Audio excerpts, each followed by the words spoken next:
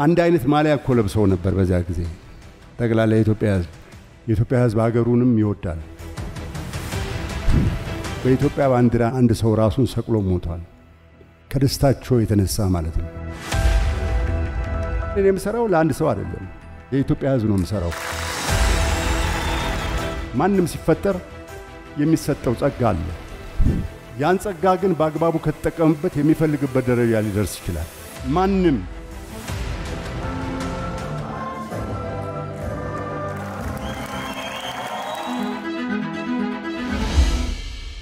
የ21ኛ ክፍለ ዘመን ጀግና ኢንስትራክተር ሰውነት ቢሻው ሁላችን በምናውቀው ከ31 ዓመት በኋላ ለመጀመሪያ ጊዜ የኢትዮጵያ ብሔራዊ ቡድንን ለአፍሪካ ዋንጫ እንዲሳተፍ ያደረጉ ድንቅ የአንደኛ ክፍለ ዘመን ጀግና ናቸው አደለ?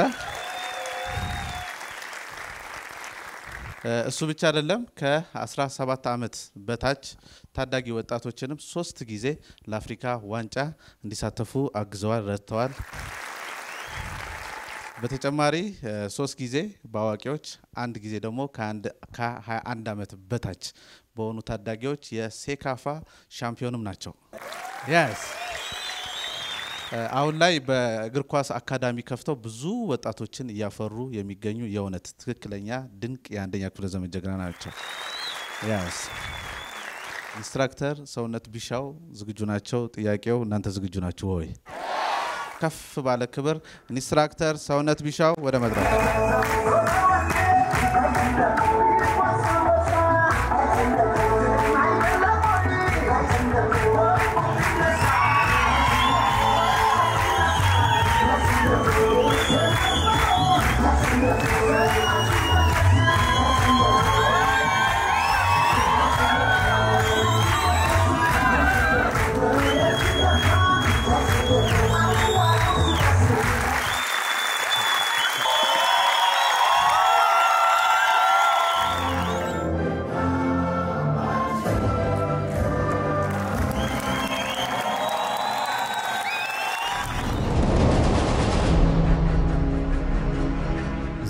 ዛሬ በመገኘቴ ከልብ ከልብ ከልብ ደስተኛ ነኝ። እንዲህ አይነት ደስታ፣ እንደዚህ አይነት ፍቅር፣ እንደዚህ አይነት አንድነት ነው የተመለከትኩት። የትም ቦታ ቢኬድ የትም ቦታ ቢካሄድ በኢትዮጵያ እግር ኳስ ላይ በተደረገው በተገኘው ውጤት ላይ የኢትዮጵያ ሕዝብ አንድ ነው፣ ስሜቱ አንድ ነው። አንድ አይነት ማሊያ እኮ ለብሰው ነበር በዚያ ጊዜ ጠቅላላ የኢትዮጵያ ሕዝብ የትኛውም የገጠሪቷ ኢትዮጵያ ክፍል በምንሄድበት ጊዜ የኢትዮጵያን ማሊያ ያኔ በዚያ ጊዜ ይለበስ የነበረውን ማሊያ በየትኛውም ገጠር ላይ ተለብሶ እናየው ነበር እና እግር ኳስ ይወዳል። የኢትዮጵያ ሕዝብ ሀገሩንም ይወዳል። እግር ኳስም ደግሞ ኃይል አለው። የማስተሳሰር አንድ የማድረግ ኃይል አለው። የማፋቀር ኃይል አለው። ሰዎች ከመደሰታቸው የተነሳ ሞተዋል። ባህር ዳር ሁለት ሰው ሞቷል። እዚህ አዳማ ሁለት ሰው ሞቷል።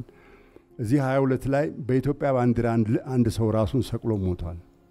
ከደስታቸው የተነሳ ማለት ነው። ያን ያክል ነው የእግር ኳስ ሊያገናኝ የሚችለው። እንዲህ አይነት ታዲያ የተቃጠለ ፍላጎትና ስሜት ያለው ማህበረሰብ ይዘን እንዲህ አይነት የተቃጠለ ስሜት ያለው ወጣት ይዘን ነገር ግን አሸናፊዎች አንሆንም። እሱ ላይ ነው ማተኮር ያለብን። አሁን ቅድም እንደተነበበው እኔ እኔ ያላደረግኩት ነገር የለም በእግር ኳሱ ዙሪያ ማለት ነው። በጣም ጥቂቶቻችሁ ልትሆኑ ትችላላችሁ የምታውቁኝ የሰራሁትን ስራ የሰማችሁት ስራ የአፍሪካን ዋንጫ ብቻ ሊሆን ይችላል። ከዛ በፊት ቅድም እንደተነበበው ብዙ ነገሮችን ሰርቻለሁኝ እኔ። ማንም ሰው ግን እኔ እንደሰራሁት ሁሉ ሊሰራ የሚችልበት አቅም አለው። የሰው ልጆች ሲፈጠሩ ማንም ሲፈጠር የሚሰጠው ጸጋ አለ። ያን ጸጋ ግን በአግባቡ ከተጠቀምበት የሚፈልግበት ደረጃ ሊደርስ ይችላል። ማንም ፈጣሪ ሲፈጥረው አንተ ድሃ ትሆናለህ ብሎ አይፈጥረውም። በታሪክ አንተ ሀብታም ነህ ብሎ ሊፈጥረው አይችልም። ጥረህ ግረህ በግንባርህ ላብ ብላ ወዝ ብላ ነው። ካልደከመ ግን አምቶ ፍትፍት ፈትፍቶ የሚያጎርሰው ሰው የለም። በሚሰራበት ጊዜ ገመድ ጉደታው ይኖሩ ይችላል። ከግራ ከቀኝ ከፊት ከኋላ ወጥሮ አንተ እንዳትንቀሳቀስ ሊያደርገህ የሚችል ሊኖር ይችላል። ግን ያ ያ ውጥራ ሊያቆመህ አይችልም። ውስጥህ ያለው የተቀበረው ቦምብ እስከሚፈነዳ ድረስ የምትፈልገውን ነገር ማግኘት እስከምችልበት ድረስ ጊዜ ድረስ በታሪክ አትቆምም። የእኔም ታሪክ ይሄ ነው። እኔ በዘሬ እግር ኳስ ተጫውቶ ያደገ አንድም ሰው የለም። ግን የእግር ኳስ ተጫዋች ሆንኩኝ፣ የእግር ኳስ አሰልጣኝ ሆንኩ። በዘሬ የተጫወተ የለም። ግን ምንድን ነው እንደዚህ ያደረገኝ? እሱ የሰጠኝ ጸጋ አለ። ያ ጥበብ it's an art football is an art which is made by the players ይባላል ይላሉ ፈረንጆች። በተጫዋቾች የሚደረግ art ነው። ያ ጥበብ ለእኔ ተሰጥቶኛል። ያን ጥበብ ግን አውጥቼ እንድሰራ እኔ ራሴ ለዚያ የተገዛሁ መሆን አለብኝ። ከገጠር ልም ካለ ገጠር በባዶ እግር ከሚሄድ ማህበረሰብ የተፈጠርኩ ሰው ነኝ። ከዚያ ወጥቼ እዚህ መጥቼ የኢትዮጵያን ብሔራዊ ቡድን ማሰልጠን አለብህ ብሎ ማሰብ እብደት ነው። ውስጡ ስላለኝ ነው። ያን ውስጡ ያለኝን ነገር እንግዲህ ከገበሬ ማህበረሰብ የተወለደ በባዶ እግሩ የሚሄድ ኳስ አይቶ የማያውቅ ትውልድ ወጣት ጋር ያለበት አካባቢ የተወለደ ሰው ከዛ ከገጠር ወጥቼ ከተማ ነው የመጣሁት። ከተማ ከጓደኞቼ ጋር ትምህርት ቤት ኳስ መጫወት ጀመርኩ። ከዛ በኋላ እንደገና ወደ አዲስ አበባ መጣሁኝ። እዚህ ጦር ኃይሎች አካባቢ high school ን እዚህ ነው የተማርኩት። ካለው ወጣት ጋር ተገናኘሁኝ። ኳስ በደንብ መጫወት ጀመርን። የኳሱ ፍቅር እየዳበረ ሄደ።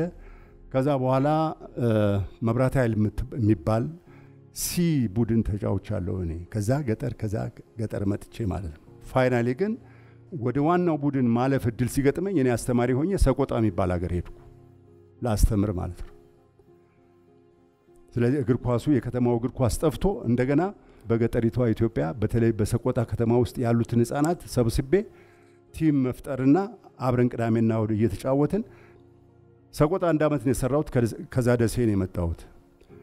ደሴ የወሎ ምርጥ ቡድን የሚባል ነበር። ወሎ የወሎ ምርጥ ቡድን እነ ሙሉጌታ ከበደ የነበሩበት ያኔ እኔ እዛ አስተማሪ ሆኜ ስመደብ እነ ሙልጌታ ከበደ ትናንሽ ልጆች ነበሩ እና ሶስት ጊዜ ሁለተኛ የኢትዮጵያ ዋንጫ ሻምፒዮን ወሎ ሲሆን ሶስት ጊዜም ሻምፒዮን ያደረግኩት ከጓደኞች ጋራ ብዙ ጎል አግብቼ እኔ ነኝ። ይህንን ማንም አያውቅም። አንደኛው ተሸናፊም እዚህ ጓደኛ ያለ እዚህ ከከፋ ምርጥ ቡድን ተጫዋች የነበረ ነው። አቶ አፈወርቅ አየለ ይባላል። ሶስት ለባዶ ስናሸንፋቸው በረኛቸው የኢትዮጵያ ብሔራዊ ቡድን በረኛ ነበር። መልካሙ ይባላል። ውሸት ይኸው አለ።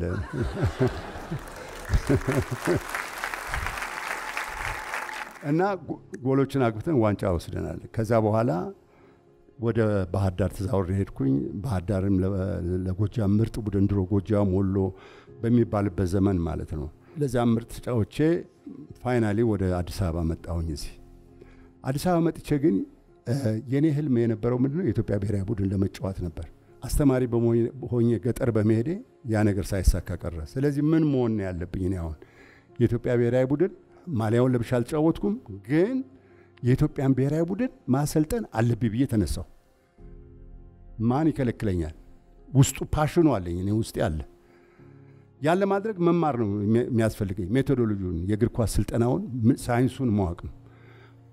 እንዴት አድርጎ ተጫዋቹን handle ማድረግ፣ administration ኑን ማወቅ ነው። management ኡን ማወቅ ነው። ጥበቡ እኔ ጋ ነው ያለው። ማንም ሊሰጠኝ የሚችል ነገር አይደለም። ስለዚህ አሰልጣኝ ሆኜ ኢትዮጵያን ብሔራዊ ቡድን አሰለጥናለሁ ብዬ ተነሳሁ። ኮርሶቹን ወሰድኩ፣ ተማርኩ። ጀርመን ሁለት ጊዜ ሄጄ ተምሬያለሁ። ካይሮ አንድ ጊዜ ሄጄ ተምሬያለሁ። ኬንያ አንድ ጊዜ ተምሬ ሄጃለሁ። ካሜሩን አንድ ጊዜ ሄጄ ተምሬያለሁ። ያን ሁሉ አድርጌ የካፍ instructor ነኝ። አሁን የካፍ የአሰልጣኞች አሰልጣኝም ጭምር ነኝ። ያማረክም አለ። ከዛ በኋላ ከጀርመን ተምሬ የመጣው ትልቅ ዲፕሎማ ይዤ መጥቼ በ excellent ተመርቄ መጥቼ የፋብሪካ ቡድን ውስጥ ነው የገባሁት። ማንም አያቀኝማ። ከዚያ ራሴን እያሳወቅኩ መምጣት አለብኝ። እያሳወቅኩ ስመጣ ትንንሽ ቡድኖች ውስጥ እያለሁኝ አሸናፊ የሆኜ ስመጣ ከትምህርት ሚኒስቴር ተዛውሬ እንደገና ህዝብ ማመላለሻ ኮርፖሬሽን የሚባል ተዛውሬ እዛ ገብቼ ያን ቡድን ከታች ወደ ላይ አምጥቼ እየመጣሁ እየመጣሁ ወደ ትላልቆቹ ስመጣ ይሄ ደግሞ ማን ነው መባል ተጀመረ። ከዛ በኋላ ጦርነት ተሳሳበ። የት ኳስ ነክቶ በእግሮ ያውቃል፣ ተጫውቶ ያውቃል። ግን ወሎ ብሄድ የወሎ ህዝብ ያቀኛል። እዛ ስለተጫወትኩ ማለት ነው። ያ ግን እኔን በፍጹም ሊያስቆመኝ አልቻለም። ዋናው ህልሜ ትልቁ ህልሜ ምንድን ነው? የኢትዮጵያን ብሔራዊ ቡድን ለአፍሪካ ዋንጫ ማሳለፍ። አሁን ቅድም እንደተነገረው ከዚያ በፊት የሴካፋ ዋንጫዎቹ አራት ጊዜ የሴካፋ ዋንጫ ወስደናል። ሶስት ጊዜ በ senior ኡ፣ አንዴ በወጣቱ የምስራቅና መካከለኛው አፍሪካ ዋንጫ ሻምፒዮን ነኝ እኔ። ይሄን ያሟላ ሰው የለም እዚህ ሀገር። ከዚያ በኋላ በ under seventeen ሶስት ጊዜ ለአፍሪካ ዋንጫ ሻምፒዮን ነኝ። አንዴ ከአፍሪካ አራተኛ ወጥቻለሁ። ይሄን ለማሳካት እኔ የኢትዮጵያ ብሔራዊ ቡድን አሰልጣኝ ለመጀመሪያ ጊዜ ሆኜ ስመረጥ፣ ምክትል አሰልጣኝ ሆኜ ስመረጥ እኔ ኮርስ ላስተማርኩት አሰልጣኝ ምክትል ሆኜ ነው የገባሁት። እኔ አስተምሬዋለሁ። እንዴት አድርጎ እሱ እኔን ይዘዘኝ ፈራ። ስማ እኔ ማየው ሩቅ ስለሆነ ዛሬ ለአንተ ምክትል ሆኜ በመስራቴ አንተ ምንም እንዳትጨነቅ፣ እዘዘኝ፣ የፈለግከውን ነገር አድርገኝ፣ እሰራለሁ። እንዴት ብሎ ልጆቹ ሰብስቦ ያናገር? እኔ እያለሁ እዛ ከባድ ነው። ግን አበረታታሁት። ከዛ አብረን ወጥተን ከሱ ጋራ ነው አራተኛ ያወጣ ነው። ከድሬዳዋን የመጣው አሁን በሕይወት የለም ሞቷል። ልጆቹን እኔ የመለመልኳቸው ልጆቹን እኔ የሚያውቁት እሱን አያውቁም። ያ ቡድን ውጤት ማምጣት እንዳለበት ስለማምን በዚያ ውጤት ማምጣት ስለሆነ እኔም ራሴ ከፍ ምለው ውጤት እንዲያመጣ ነው የሰራሁት። ከዛ ሰራን፣ አራተኛ ወጣን። ከዛ በኋላ በአመቱ እሱ ምክትል፣ እኔ ዋና ሆን ሶስት ያለፍን ያን ካረግን በኋላ የመጣው ምን ነው ለአፍሪካ ዋንጫ ነው። አሁን ከስንት ዓመት በኋላ በዚያ ጊዜ ደሞዛችን 1500 ብር ነበር። አሁን የኢትዮጵያ ብሔራዊ ቡድን አሰልጣኝ ስንት ነው የሚያገኘው? 300 ምናምን ሺ። አንድ ተጫዋች በእኛ ጊዜ የሚያገኘው 3500 ብር ነው። አሁን አንድ ተጫዋች እስከ 600 ሺህ ብር ይከፈለዋል ኢትዮጵያ ውስጥ። የዚህ ደሞዝ እድገት የኔ ውጤት ነው። በኩራት ነው የምናገረው። እነ ሳላዲን ሰይድ ኮከብ ግብ አግቢዎች የሆኑት በእኔ ጊዜ የነበሩት national team ተጫዋቾች እና አዳነ ግርማ ደሞዛቸው ትልቁ 3500 ብር ነበር። ያን ሁሉ miracle የሰሩ ልጆች ማለት ነው። ለአፍሪካ ዋንጫ አልፈዋል። ለቻን non professional የሆነ የሚጫወቱበት ጨዋታ አለ፣ አገሮች ማለት ነው። professional ያልሆኑ ተጫዋቾች፣ የሀገር ውስጥ ተጫዋቾች ብቻ የሚሳተፉበት ብሔራዊ ቡድን አለ። በዛም ቡድን እኛ እነ አዳነ በእኔ team ማለት ነው ለዚህ ለቻንም አፍሪካ ዋንጫ አልፈዋል። እንደገና ለአፍሪካ ለዓለም ዋንጫ ማጣሪያ ምርጥ አስር አፍሪካ አገሮች ውስጥ ኢትዮጵያ ተቀላቅላለች። በዚያ ጊዜ ምርጥ አስር ውስጥ ይህን ሁሉ miracle ሰርተናል እኛ በዚያ ጊዜ።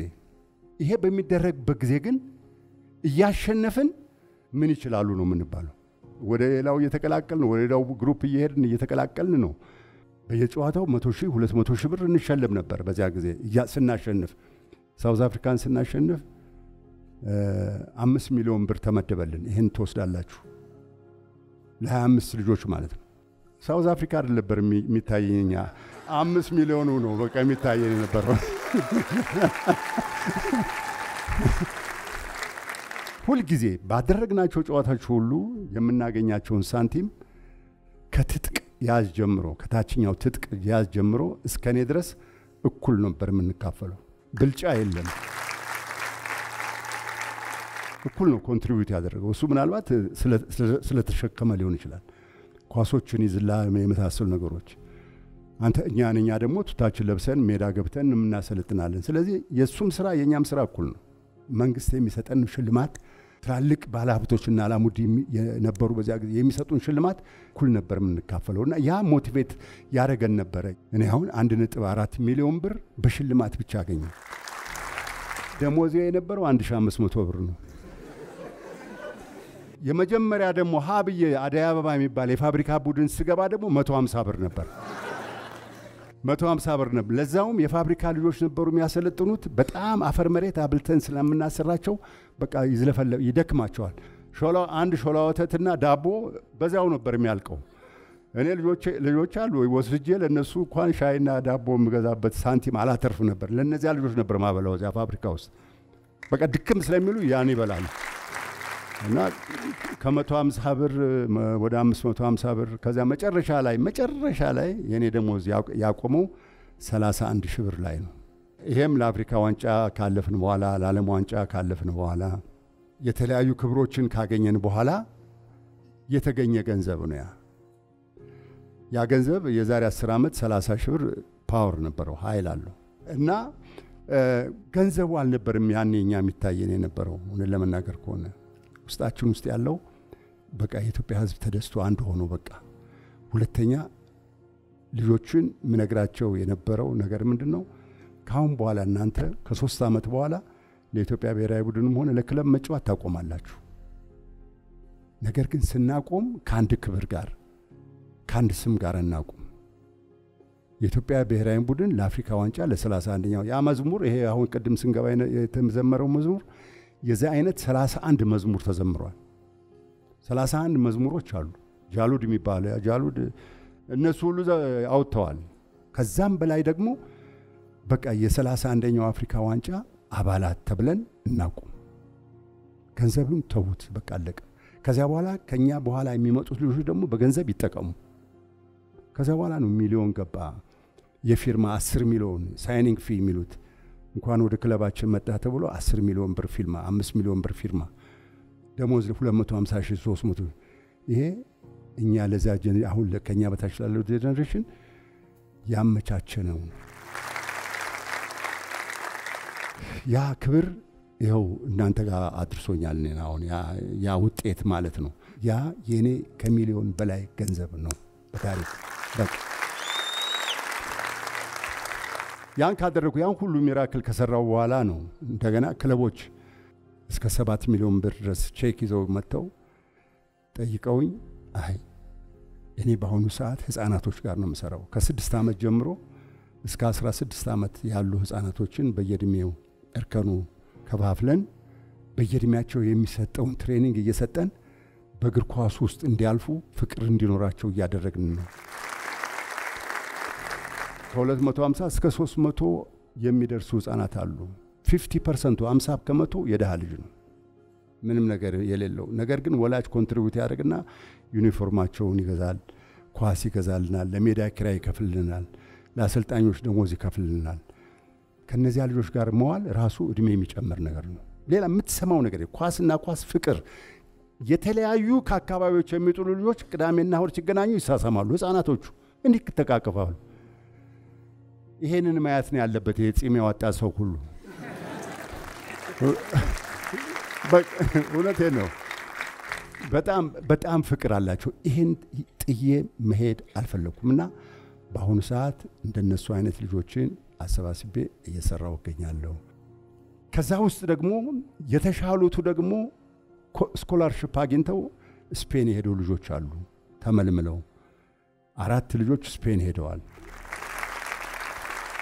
አንድ ሁለቱ የመጨረሻውን ማጣሪያ አልፈው ወደ ክለብ ለመቀላቀል ደርሰዋል። አሁን እንደገና ደግሞ 16 ልጆች ከ350 ልጆች 16 ልጆች ሲመረጡ ከስፔን መጥተው መርጠው ሁለት ልጆች 16 ውስጥ ተቀላቅለው እኔ ያሰለጥንኳቸው ልጆች አሉ። አሁንም ለመሄድ እየተጠባበቁ ነው። መንግስት ያውቀዋል ይህን ነገር። ሁለት ልጆች እንደዚያ ነው። አንድ ልጅ ደግሞ ባለፈው ክረምት ደግሞ እንግሊዝ ሀገር እንደዚሁ ተመልምሎ እንግሊዝ ሀገር ሄዶ አሁን በከፍተኛ ደረጃ የሚገኛል። ይህን contribution ማን ማን ሰጠ ከእኔ ውጪ? ይሄ እንደ ጉራም አይደለም። አንደኛ ውስጤ ያለ ነገር ነው። ውስጤ ካለው ነገር ነው ጋር እየሰራው ከዚህ ማንም ሊያላቀኝ አይችልም። of course ሌላ ጥቅማ ጥቅም ላታገኝ ትችላለህ። ገንዘብ ላይኖርህ ይችላል። አንጣ እንጂ ሰርተን ለሀገራችን ለትውልዱ specially ለትውልዱ ውስጡ ያለውን ነገር ፈጣሪ የሰጠውን ነገር ተጠቅሞ ጥረት አድርጎ ውጤታማ ለመሆን መጣር መቻል አለበት ያ ልጅ። በትምህርት ቤት ያሉ አንድ ተረት ልንገራችሁ። በትምህርት ቤት ያሉ ልጆች ያጠናሉ፣ አንዱ ግን ሰነፍ ነው። ጎበዝ ነው ግን አያጠናም። ወይኔ ወደኩ ብሎ እሪ ብሎ ያለቅሳል። ፈረንጅ አገኘውና ለምንድን ነው የምትጮኸው? failing in exam doesn't mean failing in life and that will never be the end of life also የህይወት ፍጻሜ አይደለም። end you know meaning of end ይለዋል። end ማለት ታውቃለህ? E ማለት effort፣ N ማለት never፣ D ማለት dies። effort never dies። ስለዚህ effort አርግ፣ ጣር፣ ጋር ነገ ይሄን ፈተና ብቻ አይደለም ሌሎችም ነገሮች በጣጥሰህ ልታልፋቸው ትችላለህ። effort አርግ። ያለ ልፋት ያለ ድካም የሚገኝ ነገር የለምና ምንም ነገር ይሁን ምንም ነገር ይሁን አስቦበት ነው፣ ተቧድኖበት ነው፣ ደክሞበት ነው ያን ነገር ሊያገኝ የሚችለው። ስለዚህ በመልካም መንገድ ሄደህም አንድ ነገር ውጤት ለማግኘት የምታስብ ከሆነ ሁልጊዜ መጣር ያስፈልጋል። ሁልጊዜ ጄኑን መሆን ያልፈልግ፣ ሁልጊዜ ከሰው ጋር መሄድ ያስፈልጋል። ሰው ቢመቀኝህም ምንም ሊያደርግህ እንደማይችል እኔ ምስክር ነኝ። ከስራ አስወጥቶ ቤቴ 194 ብር መክፈል አቅቶኝ ማለት ነው።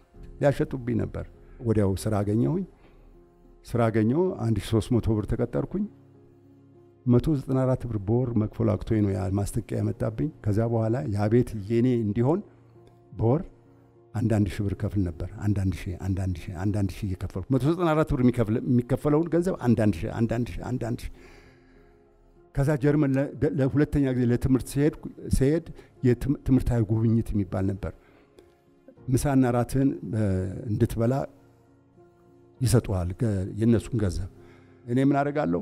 ያ five star ወደ ሄደን ሹካና ምናምን አድርገን በልተን ልንሄድ ነው። እኔ ግን ጠዋት ቁርሴን ግጥም አድርጌ ይበላሉ። ብፌ ነው። ከዛ በኋላ ለምሳ የሚሆን ደግሞ ሳንድዊች ምናምን አሰርቼ ባጌ ውስጥ ሳለሁ ለራቴ የሚሆን ደግሞ ሰርቼ ፍሪጅ ውስጥ አስቀምጬ እሄዳለሁ ባጌን ይዤ።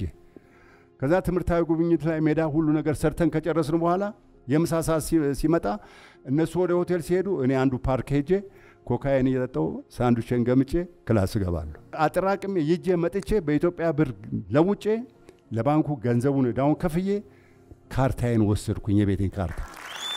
ምን የምትፈልገው? በህይወታችን ውስጥ የሚገጥሙን ብዙ ፈተናዎች አሉ። በህይወታችን ውስጥ ልናሳካቸው የሚፈልጉ ብዙ ያሉ ብዙ ነገሮች አሉ። እነዚያ የምናሳካቸው ነገሮች በሰዎች ምቀኝነት በፍጹም ተገድበው አያውቁም፣ ሊገደቡም አይችሉም። አንድ ቀን መሳካታቸው ስለማይቀር አንድ ቀን ባይሳካ በሌላው ቀን መሞከር ነው። በምንም መመዘኛ ውስጣችሁ ያለውን ነገር ለመስራት ወደ ኋላ አትበሉ፣ ሞክሩት። ከሰው ጋር ተገናኙ። እግዚአብሔር ሊያስቀምጣችሁ ያሰበበት ደረጃ ስላለ እዚያ ደረጃ ላይ ትደርሳላችሁ።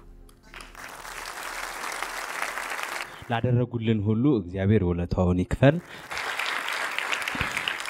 ሰላሳ አንድ ዓመት የአንድ generation እድሜ ነው እና እርስዎስ በዛ ሰዓት ላይ ምን አይነት ስሜት ነበራችሁ? የማሸነፊያው የመጨረሻው አዲስ ህንፃን የቀየሩበት መንገድ የእርስዎን የአሰልጣኝነት ፍልስፍና ይንገሩን። አዎ እንግዲህ ውጤት ዝም ብሎ አይመጣም። እግር ኳስ በጣም complicated የሆነ የጨዋታ ውጤት ነው። በአንድ ሰው፣ በሁለት ሰው፣ በሶስት ሰው፣ በአራት ሰው፣ በአምስት ሰው፣ በስድስት ሰው even በዘጠኝ ሰው፣ በአስር ሰው ውህደት ውጤት አይመጣም። አስራ አንዱም አንድ መሆን አለባቸው። የአስራ አንዱም ልጆች ጭንቅላት ሜዳ ውስጥ የሚገቡት የኢትዮጵያን ሕዝብ ለማስደሰትና አንድ ክብር ለማግኘት ነበር የሚሰሩት። በዚያ ጊዜ የገባው ስቴዲየም የገባውን ሕዝብ ታየዋለ። ባናሸንፍ ኖሮ ሰው ይተርፍ ነበር። እንደገና ዳኛው 11 ደቂቃ ነው የጨመረው። ትዝ ካለ ጨዋታው ካለቀ በኋላ 11 ደቂቃ ነው የጨመረው። ምን ፈልጎ እንደሆነ አይታወቅም። በዚያ ሰዓት ሱዳን አንድ ጎል አግብቶብኝ ቢሆን ኖሮ ሱዳን ነበር የሚያልፈው። ያኔ ህዝብ ይቀበለዋል። ያንን ጎል ካለቀ 11 ደቂቃ ጭማሪ እየታየ እዛ ላይ አይቀበለውም። ስለዚህ ግልብጥ ብሎ ገብቶ እኔም በህይወት መኖሬን አላውቀውም ነበር አላውቀውም ነበር። ስለዚህ ያ ነገር ምንድን ነው ልጆቹ አንደኛ ያን የኢትዮጵያን ህዝብ ውጭም ስታዲየም ዙሪያ ውጭ ሆኖ የሚያየው ድፍን የኢትዮጵያ ህዝብ በሙሉ የሚያየው ሰው በሙሉ መደሰት እንዳለበት ሁሉም ሰው የራሱን 100 percent effort ማድረግ እንዳለበት 100 percent መስጠት እንዳለበት አሸንፎ መውጣት እንዳለበት ከዚያች ቀን በኋላ ታሪክ በራሱ ላይ ሊጽፍ የሚችል መሆኑን አስረግጬ ነግሬያቸው በዚያች ተማምነው ነው የገቡት። አዲስ ህንፃ ፍጥነት ስለሌለው ግን ኳሱ ጥበብ ስላለው በጣም ጥበበኛ ስለሆነ ከደከመ በኋላ የሚሰጡ ኳሶች እሱ የሰጣቸው ኳሶች ናቸው። በነገራችን ላይ ሁልጊዜ የምናገባቸው ወደ ሀያ ደቂቃ ሲቀር ቀይረዋለሁኝ። መሮጥ አይችልም ቅድሚያ ስለሚቀደም። ነገር ግን ሰዎች ከደከሙ በኋላ ከገባ ባላንስ ያደርጋል። እነዚያ ስለደከሙ እሱ balance ያደርጋል እና ነጥቆ የሚሰጣቸው ኳሶች ግቦች ናቸው። እንዳልከው ሁለተኛው ኳስ እሱና ቱሳ በኃይሉ ሁለቱ ተቀይረው ነው። ሁለቱ ሁልጊዜ መጨረሻ ላይ ነው ቀይር የማስገባቸው። እነሱ ያልነኩት ኳስ እኛ ያሸነፍንበት ጨዋታ የለም። ዛሬ ብዙ ነገሮችን ሰርጄን የመጣሁት ትልቁ ህልሜ ምንድን ነው? እግር ኳስ አካዳሚ የሚባል አለኝ። ከአምስት ዓመት እስከ 13 ዓመት ያሉ ህጻናት እግር ኳስን ተምረው የሚያድጉበት ትልቁ ህልሜ እሱ ነው እና በጣም ተስፋ ቆርጠህበት የነበረ moment ግን ደግሞ ያለፍከው ሁኔታ የቱ ነው የሚለውን እኔ በህይወቴ ተስፋ ቆርጬ አላቅም። የተነሳህበት አላማ አለ። እዛ መድረስ አለብኝ ብለህ ካቀድክ እቅድ ካለ እና አላማ ካለ እዚያ የምትደርስበትን መንገድ ብቻ ነው የምታስበው። ዘዴውን፣ ትምህርቱን፣ እውቀት፣ ጥበቡን ብቻ ነው። እዛ የምትደርስበትን ጥበብ ነው የምትይዘው። ከዛ በኋላ ደግሞ hard work effort ነው። በዚህ መካከል ማንም ሰው interfere ቢያደርግ አትቀበለውም። እዛ መድረስ ግዴታ ነው። እዚያ ስትደርስ ብቻ ነው ህይወት የሚለወጠው። እዚያ ለመድረስ ብዙ መሰናክሎች አሉ። እኔ እኮ ተብዬአለሁ። ምን ይችላል እያሸነፍን ምን ይችላል ነበር ምን ይባለው አለ እያሸነፍን ምን ምን ምን ይችላል እሱ ምን ይችላል የሚለው ምናልባት እነሱ የሚፈልጉትን አንዳንድ ልጆች አምጥቼ እዚህ ከቲሙ ጋር ብቀላቅል ኖሮ ማንም የሚናገረኝ ሰው የለም። እነሱ የሚሉኝን አምጥቼ ቀላቅዬ ቲሙ ደግሞ ሳያሸንፍ ሲቀር የባሰ ምን ይችላል የሚለው አባባል ይጎላ ነበር። ነገር ግን ያን ነገር አልተቀበልኩም። እኔ የሚችል ብቻ ነው፣ አድሏዊ አልነበርኩም እኔ ሌላ የሚችል ደግሞ ያኛው ሜዳ መጀመሪያ የገባው ደክሞት ሲወጣ ያኛው ተቀይሮ ይገባል። ሁሉም እዚያ የሚቀመጡት የሚችሉ ናቸው እንጂ በዘመድ በጓደኝነት ፈርቼ ሚዲያ ፈርቼ ወይም ከሌን ፈርቼ ቀይር ተብያለሁ። ከዚያ ከትሪቡን ስልክ ተደውሎ ከሌን በከሌ ቀይረው ተብያለሁ። አልቀይርም ብዬ መልስ የሰጠው ሰው ከሊቢያ ጋር ስንጫወት ነው። ለአፍሪካ ዋንጫ ማጣሪያ ነው። አሸንፈናቸዋል ሊቢያን። እዚህ ሊቢያ ከአፍሪካ ሁለተኛ የነበረች ሀገር ናት። እኛ ወደ ሰላሳ ሰባተኛ ነን በዚያ ጊዜ ደረጃችን እና እንጫወታለን። ሜዳው እልም ያለ ጭቃ ነው። እልም ያለ ጭቃ እንዲረግጠው ለመንቀል ሌላ ሰው ያስፈልጋል። ለእግር ምናልባት በጣም ከባድ ጭቃ ነው።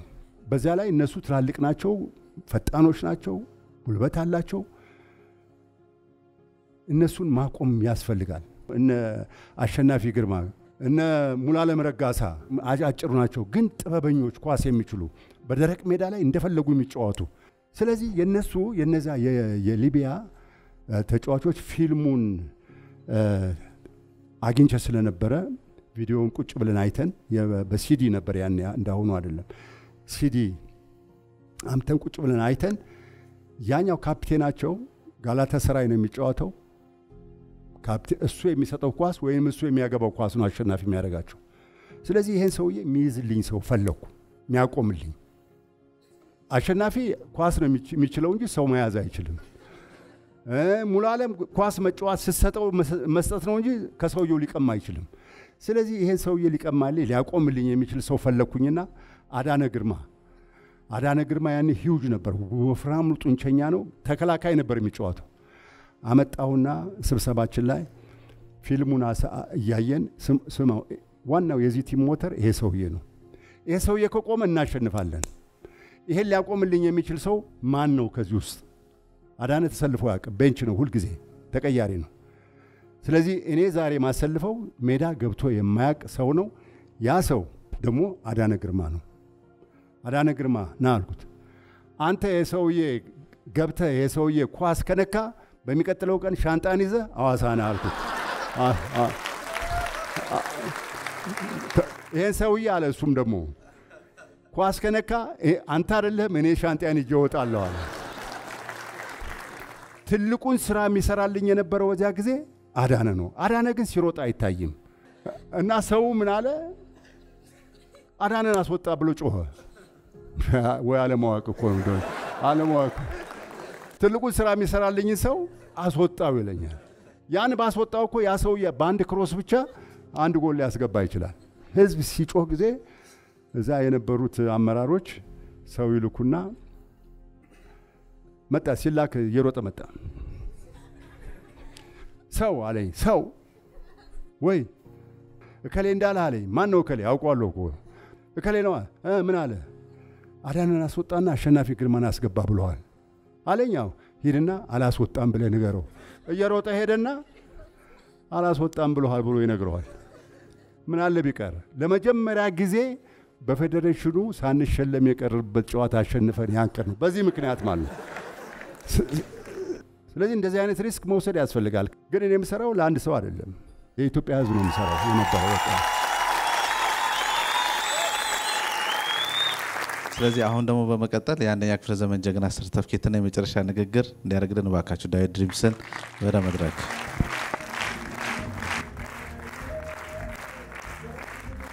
ከክፍለ ሀገር ጀምሮ ትልቅ ህልም ነው። አምነውታል፣ አሳክተውታል እና በአንድ ቀን አይደለም የተሳካ በብዙ ሂደት ነው። እባካችሁ በድጋሚ አመስግንልኝ። እዚህ ጋር በኳስ የተሸነፈ ቡድን ያላቸው ቤተሰብና ጓደኛ አሉ፣ ግን እነሱም አሸናፊ ናቸው እና ስለሳቸው እንዲነግሩን ወደ መድረክ ብንጠራቸው ምን ይመስል? በጣም አመሰግናለሁ። ከሰውነት ቢሻው ጋር በወቅቱ ነው የቴክኒካል እንትን ነበርኩኝ። የፌዴሬሽኑ ቴክኒካል ኮሚቴ ሰብሳቢ ነበርኩኝ። አፍሪካ ዋንጫ ስናልፍ ማለት ነው። አለቃ የነበረ South Africa ላይ በነበረው ጨዋታ የእኛ ህዝብ እዚያ ያለው እንደ ተአምር ነው የተቀበለን። በተለይ ሰውነትን ለማግኘት ሶስት አጥር ያለው ሆቴል ውስጥ ያለ ነው። ሰብሮ ይገባሉ፣ እግሩ ላይ ይወድቃሉ። በአስራ ሁለተኛ ደቂቃ ላይ በትንሽ ስህተት ጎል ገባ። እኩል ለእኩል ወጣል። ልነግራቸው አልችልም። የሳውዝ አፍሪካ ያሉት የእኛ ልጆች ያን ቀን ገበያው ከፍተኛ ነበር። በጣም ኃይለኛ ተጫዋቾች እኮ ናቸው። ቦርን በእንትን የተፈጠሩ ልጆች ናቸው ያሉን። በጣም በጣም አሁንም ለምን አይደርስም? የእናንተ ፋንታ ነው። የሚችል ትውልድ ነው ያለው። እንደገና ይዘን ቤኒን ከቤኒን ተጫዋቾቹ እንግሊዝ professional ተጫዋቾች ናቸው ያሉት። ምን ሆነን መጣን? አሁን አዳነ የሚባለው ቅድም የነገረው ልጅ ኳስ እዚህ ላይ አቆመ። እንደዚህ ነው ያቆሙ። ኳሷን አዞረ ሲያገባት ይህ professional ኡ goalkeeper አልቻለውም። አሸንፈን መጣ። ሰውነት እንደዚህ ነው። እሺ፣ አመሰግናለሁ። እኔ የአባቴ ሁለተኛ ልጅ ነኝ። እጅግ በጣም ጠንካራ ጎበዝ፣ ያለመበትን እንደነገራችሁ የሚደርስ አባት ነው ያለኝ። በዛ ኮራለሁኝ። እንዳለው እዚህ ለመድረስ አንድ አይደለም መቶ ሺህ challenge ኦችን አልፏል። እኛ እንደ ቤተሰብ አባታችንን በዚህ ጋር ሀገራችንን ይዘን ብዙ ጭንቀትን አሳልፈናል።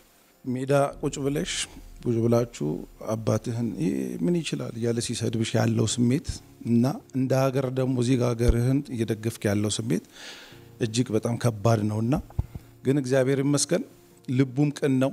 ተጫዋቾቹ አሸንፈው ሲወጡ ከነላባቸው ግንባራቸውን ነበር የሚስማቸው ሁሉንም። እግዚአብሔር ይመስገን ትልቅ ቦታ ላይ አድርሶታል። ረጅም እድሜ ይስጥልኝ ከዚህ በኋላ።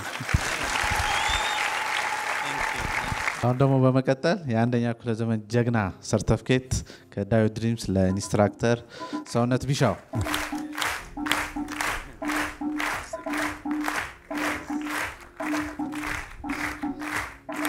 የዛሬ የ21ኛው ክፍለ ዘመን ጀግናችን ኮች ሰውነት ቢሻውና ሙሉ ቤተሰቡ አንድ ያመስግኑ።